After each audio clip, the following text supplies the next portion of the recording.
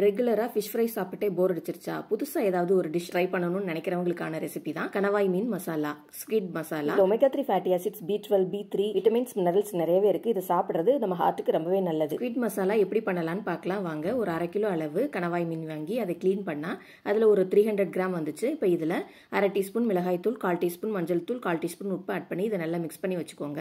இது அப்படியே இருக்கட்டும். இந்த நேரத்தில் ஸ்டவ்ல பேன் வச்சு இதுல ஒரு ஒன்றரை டேபிள் ஸ்பூன் அளவு தேங்காய் எண்ணெய் விட்டு எண்ணெய் நல்லா சூடானவனே பொடியாக கட் பண்ணி வச்சிருக்கிற ஒரு வெங்காயம் ஆட் பண்ணிக்கோங்க. வெங்காயம் நல்லா கோல்டன் ப்ரௌன் ஆகிற வரைக்கும் நல்லா வதக்கி விட்டுக்கோங்க. இப்போ இதில் ஒரு டீஸ்பூன் அளவு இஞ்சி பூண்டு பேஸ்ட் ஆட் பண்ணி இதுவும் பச்சை வாசனை போகிற அளவு வதக்கிட்டு இதில் ஒரு பச்சை மிளகாய் ஒரு கொத்து கருவேப்பிலை ஆட் பண்ணி இதையும் நல்லா வதக்கி விட்டுக்கோங்க. நெக்ஸ்ட் இதில் ஒரு தக்காளி பொடியாக கட் பண்ணது ஆட் பண்ணி இதுவும் நல்லா மசிய வதங்குற அளவுக்கு வதக்கி விட்டுக்கோங்க. நெக்ஸ்ட் இதில் ஒரு டீஸ்பூன் மல்லித்தூள் ஒரு டீஸ்பூன் காஷ்மீரி சில்லி பவுடர் அரை டீஸ்பூன் கரம் மசாலா அரை டீஸ்பூன் மிளகுத்தூள் ஒரு பிஞ்ச் மஞ்சள் தூள் அரை டீஸ்பூன் உப்பு ஆட் பண்ணி இதை நல்லா மசாலா வாசனை போகிற அளவு வதக்கி விட்டுக்கோங்க. மசாலா வாசனை எல்லாம் போன பின்னாடி இதில் கொஞ்சமாக தண்ணி விட்டு இதை நல்லா மிக்ஸ் பண்ணி விட்டுக்கோங்க.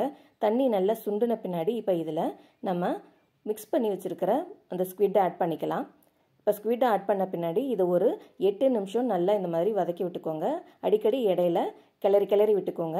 இது ஒரு எட்டு நிமிஷம் வந்தால் போதும். அதுக்கு மேலே நீங்கள் இதை வேக விட்டிங்கன்னா அது ரப்பர் மாதிரி ஆயிரும். இப்போ இதில் ஒரு டீஸ்பூன் அளவு லெமன் புளிஞ்சிட்டு ஸ்டவ் ஆஃப் பண்ணிடுங்க லாஸ்ட்டில் உங்களுக்கு கொத்தமல்லி தூவி நல்லா கார்னிஷ் பண்ணி இதை நல்லா சுட சுட பரிமாறினீங்கன்னா சூப்பராக இருக்கும். இதோட க்ளீனிங் வீடியோ வந்து ஷார்ட்ஸில் ஏற்கனவே அப்லோட் பண்ணியிருக்கேன். தேவையானவங்க பார்த்துக்கோங்க தேங்க்யூ